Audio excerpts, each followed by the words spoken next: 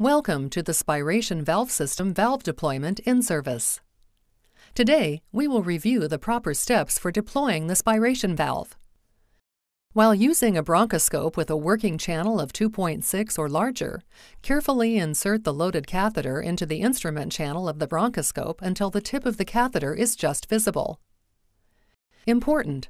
Do not bend or force the distal end of the catheter while inserting it into the bronchoscope. Under bronchoscopic observation, advance and position the bronchoscope so that the target airway location is visible and the tip of the catheter can be directed into the target airway site without bending or kinking the catheter. Advance the catheter so that the yellow valve line passes beyond the target location using the same angle as the sizing balloon.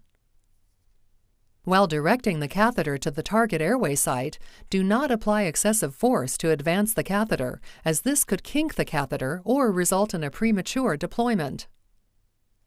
Pull the catheter back slowly so that the yellow valve line is at the target location. The valve line marks the position where the proximal end of the valve will contact the airway wall once deployed.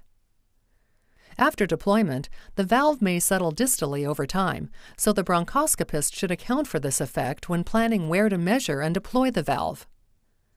Hold the catheter sheath at the instrument channel entry port and remove the green safety clip. Set the safety clip aside for later use. Using a smooth, continuous motion, pull on the catheter retractor to deploy the valve.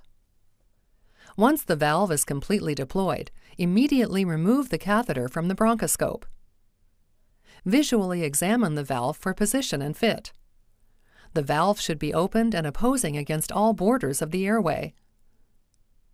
To prepare the catheter for the next valve deployment, hold the catheter uncoiled and advance the catheter retractor forward until all of the yellow portion of the handle is exposed. Reinstall the green safety clip over the yellow portion of the deployment handle.